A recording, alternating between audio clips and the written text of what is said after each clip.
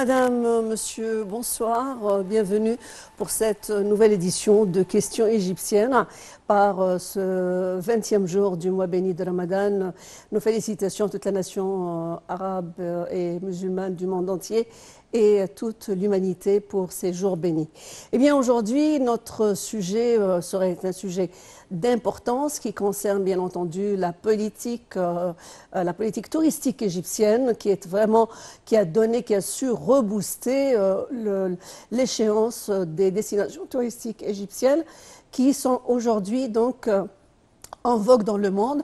On va parler euh, de, la, du site euh, de, Forbes qui vient de euh, mentionner que l'Égypte est une des meilleures destinations touristiques pour l'an 2024 et 2025. Mais avant tout, nous allons nous tout de suite nous rendre pour, pour voir un autre rapport. Il s'agit d'un rapport sur l'investissement et bien entendu, pardon, on va parler du Fonds monétaire international qui vient d'octroyer à l'Égypte 820 millions de dollars comme étant euh, une tranche qui est attribuée à l'Égypte, euh, euh, au gouvernement égyptien, correspondant aux deux premières tranches accordées par le FMI, le Fonds monétaire international, qui ont été accordées en 2022. Je rappelle qu'il y a eu une extension, donc c'était un accord en 2022 qui prévoyait accorder l'accordement de l'Égypte à, l'Égypte de 3 euh, milliards de dollars qui ont été rallongés pour devenir 8 milliards de dollars. Tout de suite, euh, Chef Boussela va nous en dire plus sur cette question et les détails de ces euh, deux premières tranches de 820 millions de dollars octroyés à l'Égypte. Le Fonds monétaire international a annoncé vendredi le versement immédiat de 820 millions de dollars au gouvernement égyptien correspondant aux deux premières tranches du programme d'aide de 3 milliards de dollars accordés fin 2022. Le Conseil a par ailleurs approuvé le rallonge de 5 milliards de dollars annoncé au début du mois, portant à 8 milliards de dollars les fonds prêtés par le fonds à l'Égypte. Le FMI souligne dans son communiqué que le gouvernement égyptien a atteint l'ensemble des objectifs prévus dans les deux premières étapes du programme d'aide, à l'exception du niveau de ses réserves en devises. Les autorités ont significativement renforcé le programme de réforme prévu par le programme. Les mesures récentes visant à corriger les déséquilibres macroéconomiques sont difficiles, mais des étapes essentielles et les efforts doivent être poursuivis. C'est ce qu'a déclaré la directrice générale de l'institution, Kristalina Georgieva. La Banque centrale égyptienne a remonté au début du mois ses taux de 6 points de pourcentage pour le porter à 27,75% afin de lutter contre l'inflation et permettre de rapprocher le taux de change officiel de celui du marché noir, entraînant un plongeon de 40% de la livre égyptienne en une journée après une baisse de 50% sur les derniers mois. Le FMI se montre cependant assez optimiste pour l'exercice 2024-2025 à venir, prévoyant une croissance en hausse à 4,4% contre 3% pour celui en cours et qui se termine au 30 juin et une inflation divisée par 2 à 15,3% en rythme annuel.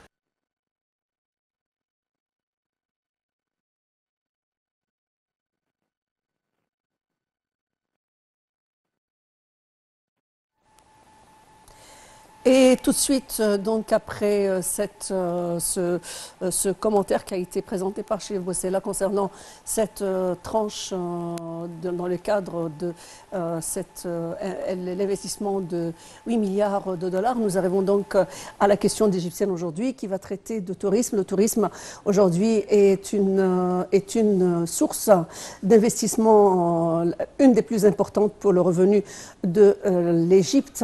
Et donc le, ministère du Tourisme a déployé énormément d'efforts, euh, des rénovations ont boosté euh, cette politique, politique qui vise à mettre l'Égypte euh, au haut du palmarès touristique international.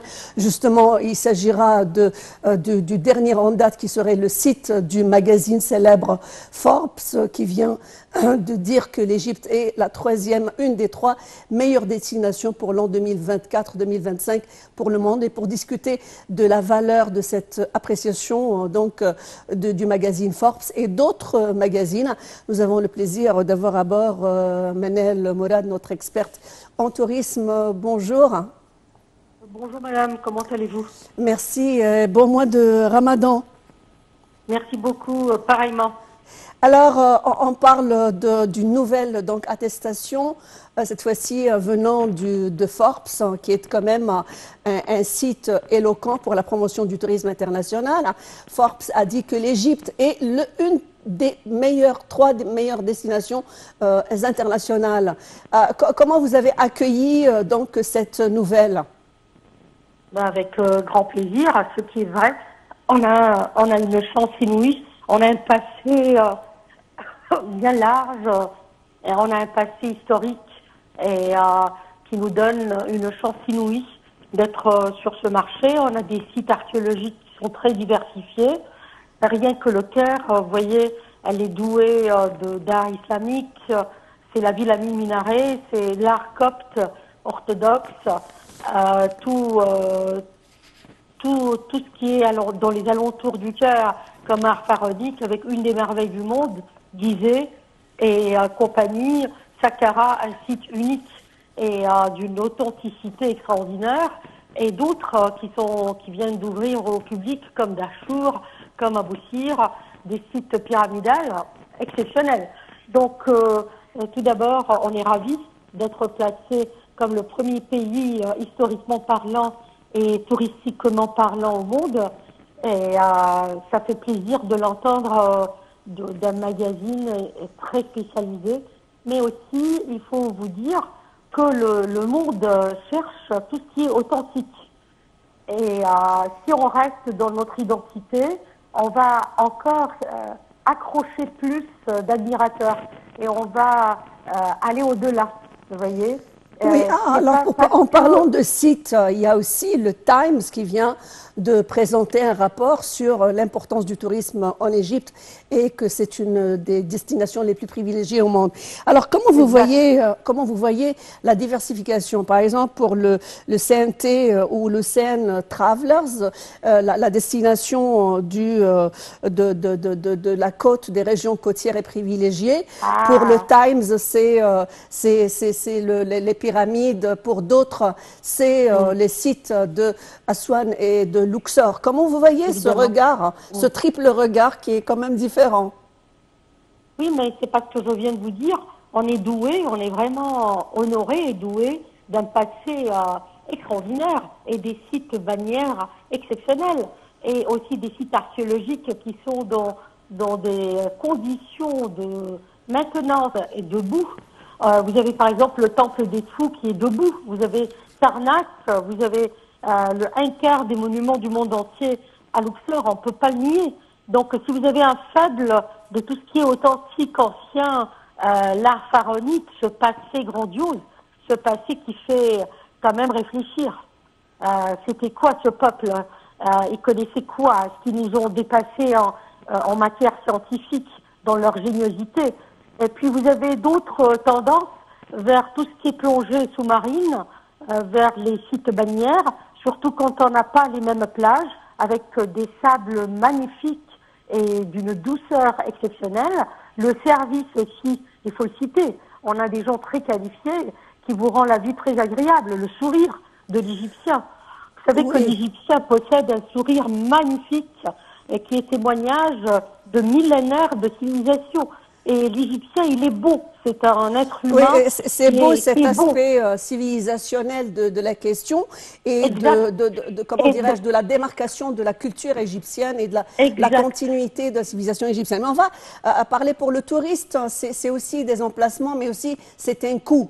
Comment euh, donc le, le, le, gouvernement a réussi à rendre, je veux dire, ceci accessible avec des moyens euh, déployé en faveur du touriste, qui serait quand même une des plus euh, moins coûteuses du monde, je veux dire, euh, appropriée, abordable ben Écoutez, ce sont des écoles, des points de vue. Il y a des écoles qui disent, au contraire, puisqu'on a des choses exceptionnelles, il faut qu'on soit une destination chère pour attirer la clientèle niche. Vous voyez un peu le mot niche, client c'est-à-dire des, des privilégiés. Et euh, il y a une autre, euh, euh, il y a une autre école qui dit au contraire, on est un produit pas cher, donc on va attirer une, une multitude et un nombre euh, énorme de, de touristes. Euh, vous savez que euh, ça, c'est des points de vue économiques, comme tout point de vue. Ce sont Mais je pense économiquement correct serait le deuxième, parce que c'est avoir un nombre de plus en plus important après la crise de Corona. Non, les deux sont corrects. Parce que si vous arrivez à attirer aussi la clientèle qui vient avec leurs avions euh, privés, une personne veut 100 personnes. Et vous n'avez pas heurté beaucoup de choses. Mais pour attirer cette qualité de gens, il faut rester dans notre authenticité. Il faut rester très pur et ne pas confondre le commercial avec euh, les sites archéologiques. Il ne faut pas confondre euh, le n'importe quoi avec le service. Oui, mais ce qui est, que un des pays. c'est une question de goût. C'est une question de goût et de couleur. Parce que la jet set, elle est attirée vers. il euh, faut vous dire. il faut vous dire que dans les années 70, nous possédons des écoles très spécialisées. On n'est pas nouveau sur le marché, ni dans la qualité humaine, ni dans la qualité des sites. depuis les années 60 et 70, on a des Égyptiens qualifiés comme que la Lausanne, euh, par exemple, fait naître, ce que la Suisse fait naître en termes hôtellerie, en termes des gens qualifiés. Le problème, c'est qu'on a beaucoup de hauts et bas à cause de la région à cause de ce qui se passe dans la région, à cause du Covid, à cause on, on va s'arrêter, on, va faire, on va faire un autre bond dans cette euh, conversation pour euh, discuter justement de, de, efforts. Euh, le, président Fatah Sisi a déployé énormément d'efforts en boostant le ministère du Tourisme pour la rénovation de plusieurs sites euh, dont euh, la rénovation est, une vraie, est une façon de ressusciter même ces sites, je veux dire, leur donner une nouvelle euh, d'air, travaux de restauration, etc., etc. Donc l'Égypte a déployé énormément d'efforts. Parlez-nous un petit peu de l'infrastructure qui a été posée par le gouvernement en ce sens. Ben, il y a des choses qui sont hyper réussies mais ça a existé depuis bien longtemps, depuis le, le, le ministre passé. Par exemple, l'aura qu'on a donné à Karnak, il y a des sites qui sont fabuleux. Il y a des sites nouveaux qui viennent d'ouvrir leurs portes au public, des sites qu'on n'a jamais entendu parler, comme Abou Sir. Euh, ben, un amateur de l'Égypte ne connaît pas Abou Sir, avec les pyramides des rois solaires, avec les temples des rois solaires, les premiers obélisques, tout ça. Euh, il y a, mais ce que je reproche, c'est la nonchalance donnée à un site exceptionnel comme qui est un site exceptionnel et de, de vouloir tolérer la construction des kiosques, des magasins sur un site premier au monde, au lieu du monde. Euh, je nie pas l'effort que le ministre actuel a fait euh, pour donner de l'air, respirer d'autres sites archéologiques, mais j'aimerais bien vous dire, euh, chère madame, qu'on n'est pas, c'est pas la première fois il y a les années, toutes les années à Luxor sur les nouveaux sites qui révèlent des secrets extraordinaires pour les archéologues et pour euh, aussi les amateurs de l'Égypte. Euh, il y a des bannières qui deviennent plus luxueux. C'est ça qu'il faut souligner peut-être. Oui, mais ce qu'il y a, c'est qu'on euh, ne peut pas nier les efforts. On peut pas nier les efforts qui ont été déployés par l'État en matière de, de, je veux dire, de préservation, de, de rénovation, etc. On va passer à, autre chose qui serait donc euh, aussi euh, cette question euh, de, je veux dire, d'émancipation, de, de, culture, d'aspect polymorphe de culture égyptienne. Je veux dire, l'Égypte, euh, je veux dire, il y, a le côté euh, balnéaire, il y a le côté religieux, il y a le côté, culturel, il y a le côté historique, il y a, plusieurs facettes qui sont. On reste dans cette question mm. de, de multidimensionnalité. Mm. Euh, comment elle est perçue par le monde? Parce que elle est bah, unique en ce sens. le monde nous envie terriblement. Euh, tous les jours, vous entendez, que ce soit par les Suisses, par les Américains, par les Français, euh, par même les Chinois, et, qui ont une civilisation grandiose aussi, qui sont en admiration. On, est euh, quand même un peuple doué de chance. On est très chanceux d'avoir euh, tous ces monuments préservés grâce au climat et grâce à la sécheresse du temps et à la sécheresse de la terre. on a, malgré tout ce qu'on a détruit pendant 2000 ans d'histoire, tout ce qu'on a arraché comme bloc, encore on a des sites exceptionnels et euh, qui sont des témoignages des grandes civilisations. Et on est vraiment, on est vraiment, je pense. Ah, alors pour, pour revenir à cette question de site, il y a le Times, il y a, comme je viens de, vous le rappeler tout à l'heure, il y a The Telegraph aussi qui vient de dénoncer. Parlez-nous un petit peu du comment est perçu euh, cette, euh, je veux dire, le tourisme en Égypte par ces sites. Il y a le, le Lonely Planet, il y a le Times, etc. Qu'est-ce que vous avez perçu? Ben, Vous voyez, vous avez vous-même mentionné qu'il y a une diversité de points de vue. On va peut-être maintenant souligner les sites bannières, euh, parce qu'on a actuellement des sites très modernes, comme El Alamein. On a des sites qui attirent énormément dans les alentours du Rgada, comme ça, la Hashish, qui sont d'une beauté extrême il y a, on a une mer limpide, transparente, on a un sable fabuleux, on a des sites aussi du plongée qui sont exceptionnels au monde, avec une richesse inouïe. Donc ça aussi, ça attire. ce qui était euh, le point de vue d'un de, ces magazines, il a souligné plutôt euh, les, les sites bannières. Savez-vous que maintenant, de plus en plus, l'Égypte actuelle fait des aéroports euh, que ce soit au niveau de la mer Méditerranée ou la mer Rouge, pour faciliter l'arrivée d'un nombre euh, inouï de visiteurs et de profiter de nos plages. Donc quand même, il y a une infrastructure assez considérable qui est en train de, de se faire exister. Quoi. Oui, alors euh, pour euh, revenir à cette question de parce que la, culture, je veux dire, euh, je veux dire, la préservation de, cette, de, de, ce patrimoine se fait aussi par le biais de la préservation. La préservation est, une dimension culturelle. Comment vous voyez les, les politiques de, je veux dire, au niveau de, de l'enseignement qui donnent aux jeunes une prise de conscience qu'il faut préserver ces sites touristiques, il faut les, mm. je veux dire, avoir une conscience aussi au niveau des risques euh, euh, mm. sur le plan écologique, etc. Mm. Heureusement que vous avez exigé, euh, vous avez annoncé ce thème parce que depuis des années et des années, depuis 15 ans à peu près, on hurle que dans le curriculum égyptien, il faut absolument donner une notion de cette civilisation antique et de la préservation des sites aux enfants. Comme ça, ils grandissent dans ceci. C'est pas normal que l'enfant français euh, en sixième, en primaire, il apprend sur l'Égypte et l'enfant égyptien n'apprend pas sur l'Égypte. C'est pas normal qu'on n'est pas soudé, qu'on n'est pas, euh, qu'on pas tissé euh, tous cette notion si vous voulez, d'appartenance à l'enfant égyptien. Ça, c'est un. Deux, oui, il y a un effort énorme, mais à un autre niveau. Par exemple, tous les écoles de restaurateurs, toutes les écoles euh, d'archéologues qui n'existaient pas avant. On dépendait énormément sur l'Occident. Maintenant, on a nos archéologues à nous, on a nos professeurs à nous, on a nos égyptologues à nous, vous voyez, et, qui, euh, et ça, c'est grandiose, ce que je suis en train de vous dire. Oui, euh, du moment que vous parlez de cet aspect grandiose de la culture égyptienne, ça nous euh, rappelle Charset Masr avec Gamal Hamdan, cet, éminent, euh, cet éminent sociologue. La question de la personnalité de l'État égyptien, la personnalité de l'histoire de l'Égypte. Comment peut-on jeter un nouveau regard sur cette question de Charset Masr, sur la personnalité de l'Égypte?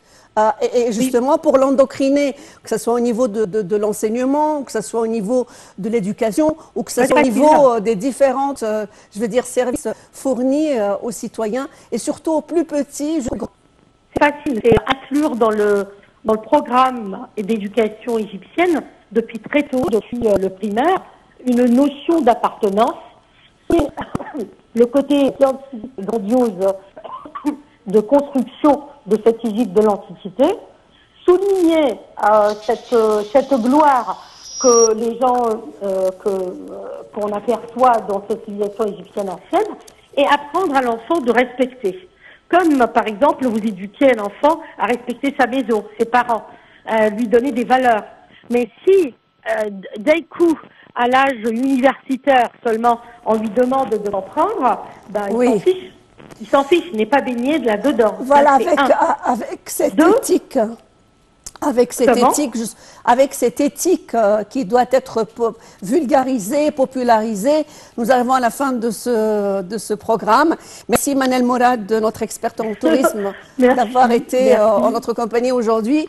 On aura l'occasion de persévérer donc pour parler euh, plus amplement encore des différentes facettes de cette culture grandiose qu'est la République arabe d'Égypte dans son aspect millénaire. Merci à vous et bon mois de Ramadan. Madame, monsieur, nous arrivons à la fin de cette édition de questions égyptiennes. Merci d'avoir été nombreux à nous suivre ce soir. Euh, nous vous souhaitons de passer une excellente continuité avec euh, les programmes de la TV internationale. À plus.